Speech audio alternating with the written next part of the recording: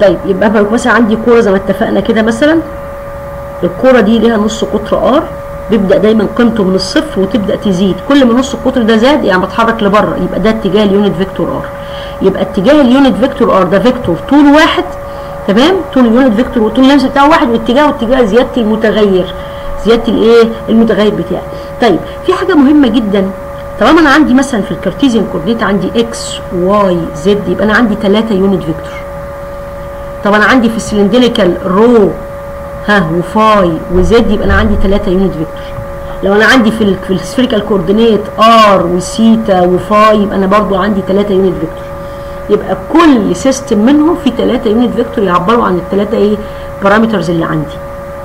طيب إحنا اتفقنا مثلا على سبيل المثال إنه ال rho هو عبارة عن اتجاه زيادة نص قطر إيه الاسطوانة صح كده؟ فنفترض مثلا إن عندي اسطوانة نص قطرها آه rho بالمنظر ده أهو تمام؟ طبعا عندي اسطوانة نص قطرها rho ده اتفقنا محور X تمام؟ وده نص قطر الاسطوانة اللي هو rho فيبقى ده اسمه rho unit vector ده اتجاه ال unit vector rho. طب فين ال phi؟ اتفقنا ال phi فين؟ ال phi بقيسها زاوية بقيسها بين X صح كده؟ وبين rho. اتفقنا عرفنا ال phi على إنها كده. طب ال phi دي بتزيد إزاي؟ لو ال rho ده كان منطبق على X يبقى ال phi بكام؟ بصفر. كل ما ال rho بعد عن X يفضل يلف كده يلف كده يلف كده. تمام؟ يبقى ال phi بتروح من صفر لغاية 360 يبقى أكن ال phi ده اهي بتزيد كل ما ال rho بعد عن ال X تمام؟ طيب قال لي يبقى فين ال unit vector rho؟ لازم ال unit vector phi ال unit vector phi لازم اتجاهه بيعبر عن اتجاه مين؟ زيادة ال phi يبقى أروح أرسمه بالمنظر ده كده. أروح أقول ده اتجاه ال unit vector phi شوفوا رسمته إزاي؟ رسمته عمودي على ال rho واتجاهه بيعبر عن اتجاه ال unit vector إيه؟ عن زيادة ال phi عن زيادة الايه ال phi. طب فين ال unit vector Z؟ طب ما ال Z بيزيد كده يبقى ده اتجاه ال unit vector Z. اللي أنا ملاحظاه بقى إيه؟ إن rho عمودي على ال phi عمودي على ال Z. زي ما كان ال X عمودي على ال Y عمودي على ال Z. نفس الكلام ال rho عمودي على ال phi عمودي على ال Z. يبقى الإحداثيات دي الكارتيزيه نوع من أنواع الإحداثيات اللي بنسميها orthonormal. يبقى أنا عندي حاجة اسمها orthonormal coordinate orthonormal coordinate يعني إحداثيات ال parameters بتاعتها متعامدة على بعضها. ال unit vectors متعامدة على بعضها. تمام؟ الثلاث أنواع بقى عندي اللي هو سواء كان Cartesian أو cylindrical أو spherical لازم هم هم هم orthonormal orthonormal يعني الثلاثه متعامدين على إيه؟ متعامدين على بعض. طب واحد يقول ليه إحنا نتعامل مع الأحداث اللي هي دايما إحداثياتها أو ال unit vectors بتاعتها متعامدة على بعضها لأنها بتسهل الحل. بتسهل الايه؟ بتسهل الحل. الحاجة التانية اللي إحنا عايزين نعرفها طبعا لما أجي أعرف أي سطح لما أجي أعرف أي سطح تمام؟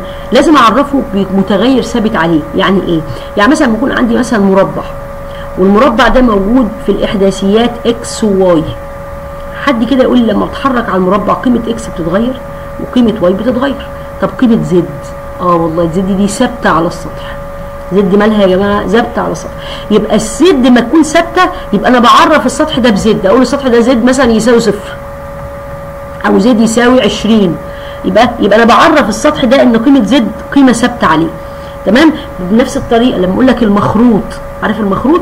حد بقى يقول لي السطح بتاع المخروط ده لما أجي أعرفه بمتغير. اتفقنا المخروط ده جزء من الإحداثيات الايه؟ الكروية. ها السطح اللي هنا أي خط أو نقطة على السطح هنا بينها وبين محور Z زاوية مالها ثابته وبالتالي بقول السطح ده سيتا تساوي constant. يعني إيه سيتا تساوي قيمة ثابته ممكن أقول سيتا بتساوي 30 السطح اسمه سيتا تساوي 30 يعني سطح مخروط بين ال vector أو المحور أو خط أي خط في السطح بتاعه وبين مين؟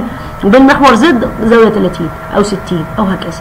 تمام؟ وهكذا. لما أقول لك مثلا إيه سطح اسطوانة خارجية بالمنظر ده كده. ها؟ مين السطح ده أميزه بأي parameter؟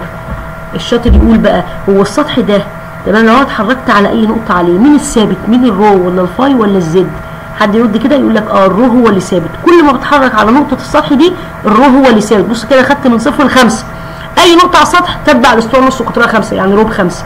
يبقى سطح الايه الأسطوانة بنسميه rho يساوي constant تمام؟ نفس الكلام سطح الكورة. نفس الكلام سطح الايه الكورة. أقول لك R يساوي constant تمام؟ يبقى تاني أي سطح دايما بنميزه بثابت متغير أو متغير ثابت إيه؟ قيمته ثابتة. جدا تعرفوا الحالات دي يا شباب.